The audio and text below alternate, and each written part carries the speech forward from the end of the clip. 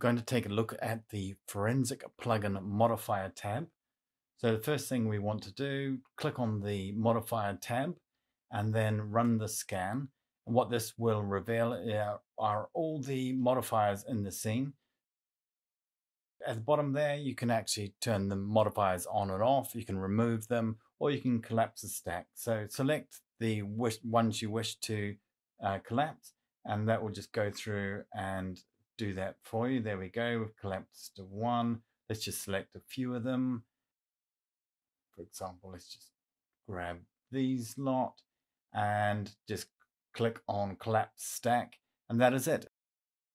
To use the uh, selected scene objects, uh, you need to select the objects in the scene first before you can actually adjust them.